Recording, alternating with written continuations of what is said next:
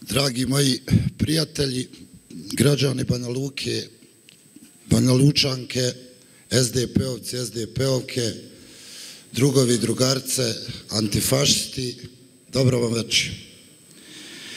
Ne mogu riječima ispisati i iskazati svoju čast što sam ovdje večeras sa vama,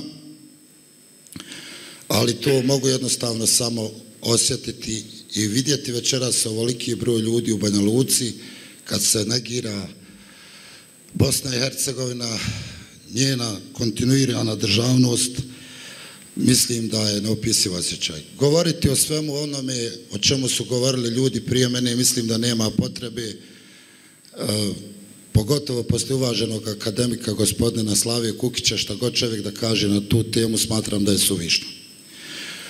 U vremenu kad se Bosna i Hercegovina negira, kad se brani izjavama, kad se brani saopštenjima, pismima, bombastičnim naslovima i tako dalje, ja sam ponosan što Banja Luka ovo brani djelom. Ovo je večeras vaše djelo i zato vam od srca hvala. Hvala ljudima oko vojna, hvala mome vojnu.